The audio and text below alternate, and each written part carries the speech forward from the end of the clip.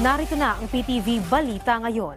Inilabas na ng Bureau of Fire Protection ang resulta ng kanilang investigasyon hinggil sa nangyaring sunog sa Manila Central Post Office. Ayon sa BFP, purely accidental in nature o aksidente lang ang nangyaring sunog. Nagsimulaan nila ang apoy sa southern part ng basement ng gusali kung saan nakaimbak ang ilang combustible materials gaya ng office supplies, thinner, pintura at car batteries. Sa resulta ng laboratory exam, lumalabas na ang self-discharge o suffocation ng mga nakaimbak na baterya ang naging sanhi ng apoy.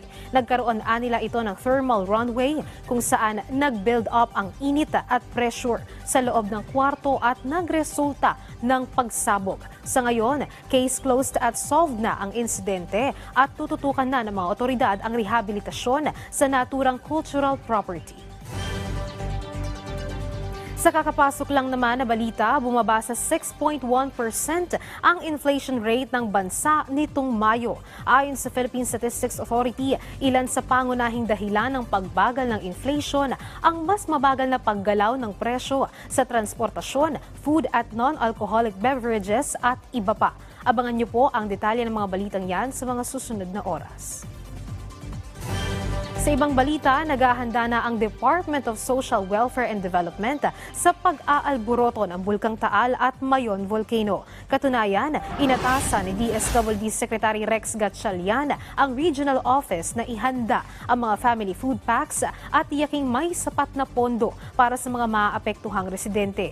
Una nang kinumpirma ng FIVOX o Philippine Institute of Volcanology and Seismology ang pagbuga ng gas ng Taal Volcano sa Batangas at pagbaba ng mga bato sa Mayon Volcano. Bilang tugon, nakaalerto na ang Quick Reaction Team ng DSWD Bicol Region at Southern Tagalog. At yan ang mga balita sa oras na ito. Para sa iba pang update, i-follow at ilike kami sa Facebook at Twitter sa at PTVPH. Ako si Luisa Erispe. Magandang umaga.